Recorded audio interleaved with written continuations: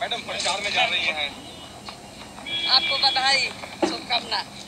मैं आप दिखाते रहिए आरजेडी मैं विपक्ष ये कह रही है कि महागठबंधन जो है वो ठगों का बंधन है।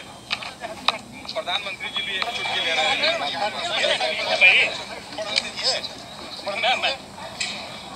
प्रधानमंत्री अपने ठग हैं लोग देश के जनता के ठग रहे हैं प्रधानमंत्री। क्या उम्मीद है? नीतीश कुमार भी ठग रहे हैं।